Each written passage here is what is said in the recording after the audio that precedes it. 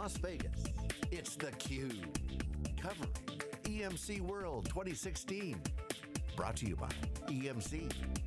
Now, here are your hosts, Stu Miniman and Brian Gracely.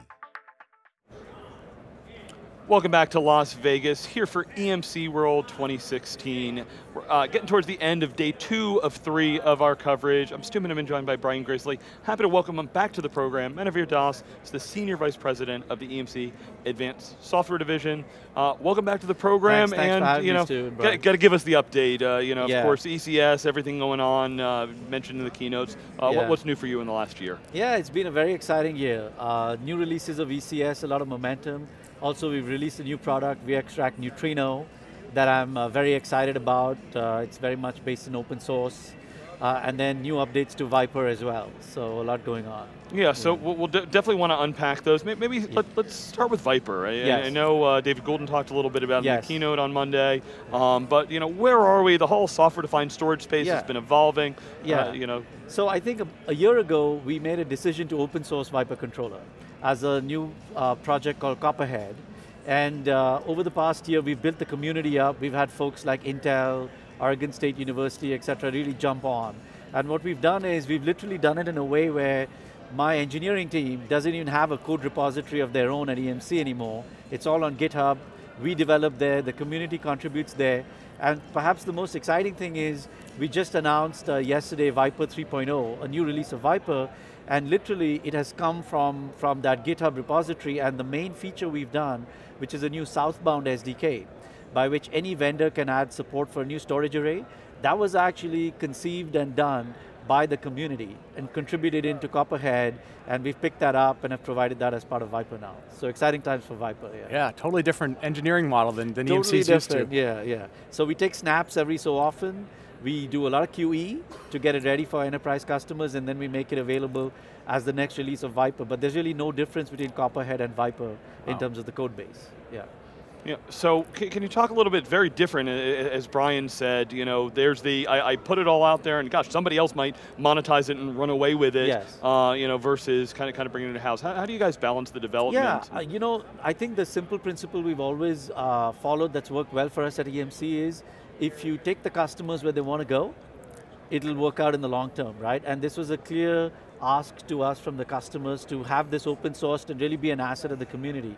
And so if you look at the decisions we actually actually made, Stu, with the way we did the licensing, all of that, we've done it as open as could possibly be, right? So yes, somebody could take this and monetize it tomorrow, and good for them. Yeah. You know, that's yeah. the way we look at it. So, uh, you know, with, with, the open source solutions, you can usually see how many contributors there are, how many downloads there are. Yes. You know, how, how, how's the progress? You know, how much revenue is there? You know, customer deployments, you know, production, Yeah, like I that. think, and really the customer deployments is the interesting one. We've seen a lot of traction now with enterprise customers where they have started standardizing on Viper as the, the, the software that they use to orchestrate all their storage.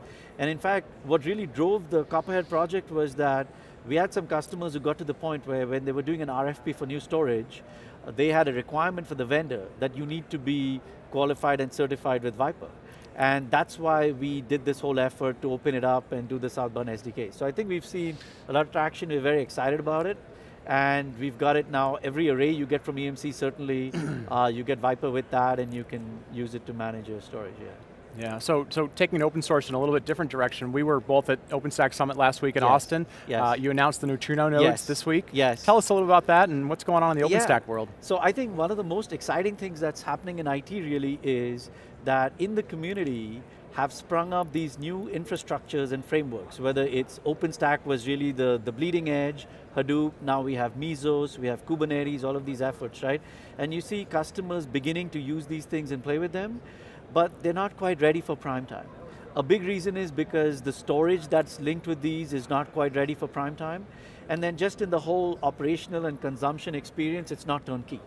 So what we decided to do at EMC was we said, let's really take the customer where the customer wants to go, and let's give them a turnkey experience for open source infrastructure, right? And that's what VxRack Neutrino is really about. It's like, uh, to, to use the term very loosely, could we do the iPhone for platform three?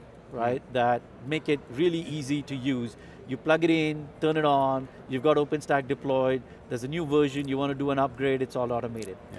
So, so that's VxRack Neutrino. The first, the start of it is OpenStack. So what we have now in the box is turnkey OpenStack, you plug it in, you've got a whole OpenStack environment.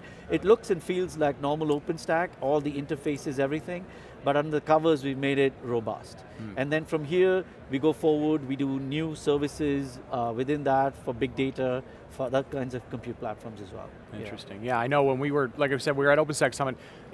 They're making progress, but people are still saying it's it's difficult to operate, it's difficult to upgrade. You guys addressed, you tried to really tackle we're that really challenge. Trying to address that. We're saying, okay, let's reduce the barrier for customers so they can really discover whether this is for them or not. Now, of course, you know, I am from EMC, I'm a big fan of what we build with VMware, and as you know, VMware itself is working on, you know, new products that, that also take the same approach, and we will support them very heavily in Neutrino, but we're really giving the customer choice, right? That uh, there's a variety of models out there, and regardless of which way the customer wants to go, let's make it a very robust turnkey experience for them. Excellent.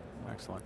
Well, one of the big announcements this week was around uh, uh, the uh, Virtustream. Virtustream, yes. You know, and on the back end, or you know, sort of behind the scenes, is, is, is ECS. ECS. Yes. yes. Uh, talk about you know not only what Virtustream is doing, but but service providers trying to, to offer you know Amazon-like services right. or S3-like services. Right, and that that's a great use case for ECS. You know, we have. Uh, uh, we have Atos in Europe, that mm -hmm. is a service provider that has built a, a large ECS environment that, that they're sharing with other customers, including Siemens. Uh, that'll be on stage uh, tomorrow with uh, Jeremy Burton talking about that. Um, I think what they really value in ECS is that with the product in hand, they, service providers can offer the customer not just an S3-like model, but also a more dedicated, a hybrid model where the customers have some equipment on premise, some equipment in the service provider's data center, right? And it opens up some opportunities that you cannot get from a pure public cloud. Hmm. For instance, if the customer has particular equipment that they want to place next to their cloud storage in the same data center, how do you go to an Amazon or an Azure and say, I want to roll in my equipment hmm. into, into your data center? It's not that easy, but with a service provider, uh, like an Atos or a Dimension Data, uh, you can do that kind of thing, right?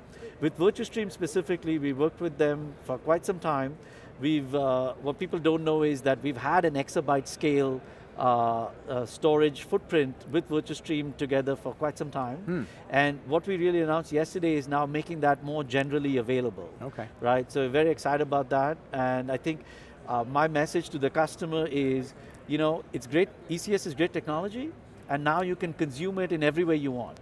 It's a software product, you can run it on your own servers, you can take an appliance and rack and stack it, you can go to Virtustream and consume it in an off-prem way where you don't have to manage it, right? Yeah. And it's your choice. Yeah, so, so here, you know, we, we find customers that we talk to, it's, it's the multi-cloud world they're living yes. in. So you talked about the on-prem, the off-prem, you know, service providers, public cloud. Um, we tend to find it's, you know, yes, all of the above. Yes. Um, talk about how you kind of plug into frameworks and management tools that are out there. Yeah, I, th I think generally as a company, we strongly believe in that, in the customer's choice for cloud. So if you look at the work we've done in the last year on our arrays, right? One of the things we've done is we've built tiering models from a number of our arrays where they can automatically push the cold data into the cloud. And of course we've built support for ECS and for Virtustream, but we've alongside built first class support for other cloud vendors as well. Mm. So for instance, you can take an Isilon and do CloudPools tiering and push the data to Amazon or Azure, right? Mm. Just as easily as you could to an ECS that you have or to Virtustream, because I think that is important uh, for the customer, right? To have that choice.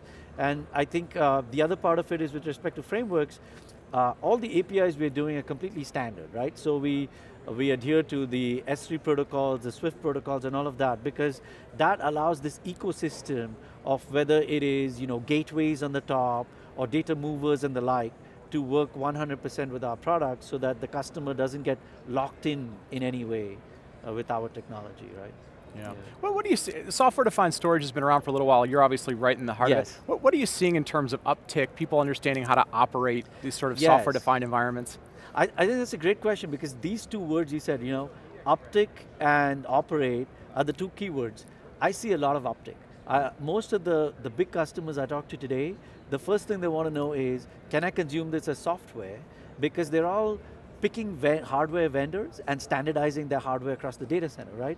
And the prime advantage of the software model is I get elasticity in my own data center. Hmm. Because I can deploy the software in 10 servers, and if I find the need for more capacity, I deploy the software in 10 more servers and I double my footprint, which is very hard to do with an appliance model, right? So that's what's attractive. So we do see uptick. But what we're finding at the same time, Brian, is that these same customers are used to a certain turnkey experience with the appliance, right? There's a single number to call, they take care of everything from the hardware to the software, fix the problem, and in our deployments, like we have customers like Verizon, has a very large deployment of ECS in a pure software-defined model, mm -hmm. and ScaleIO. And when we get on the phone with them, it's typically about that issue, that there's something going on between the fact that they've got their own hardware, and they've got CoreOS, and they've got Mesos, uh, orchestrating things, and then there's our software, and it's a little less turnkey because the integration is not built into an appliance. Yeah. So I think that's the journey for the customers, and I think it's not ready for prime time in the sense that you have to have an engineering team mm -hmm. as a customer to really go that way, but I think the payoff is certainly there, and we're seeing that. Okay, uh, can you give us the update? Where are we with kind of the financial models for consuming this, you know, between kind of the CapEx or, you know, like public cloud is more of an operational model? That's right, and I, I think uh, certainly the, our traditional model with equipment has been that customers, you know, purchase that upfront and, and in a certain time period. I think EMC, even with our managed services model, has been quite open to a utility model, and you see that uh, shift. So for instance, we talked about Neutrino, which we just launched, right? Uh, for Neutrino, we have put in a new model uh, for this product where we sell the hardware and the software separately, and we sell the hardware on a cost plus model. So for the customer, we say, here's the actual sheet of the cost of the hardware. You can compare it with going yourself anywhere and getting the hardware. And we have a small percentage premium on that because you know we're doing some work here. And then the software is on a utility model, hmm. right? So that's sort of how we, uh, and, and again, it's a matter of, you know, the customer is always right, right? And we always want to take the customer where they want to go. So I think, uh, yeah. yeah. Okay, so Manuvir, really appreciate coming back, giving us the update. Sure, uh, my you pleasure. know, lots of changes happening in the software-defined storage world. Uh, wrapping up day two of three of the Cube coverage. Check out siliconangle.tv for all of the videos from EMC World as well as upcoming events. Uh, thanks for watching theCUBE.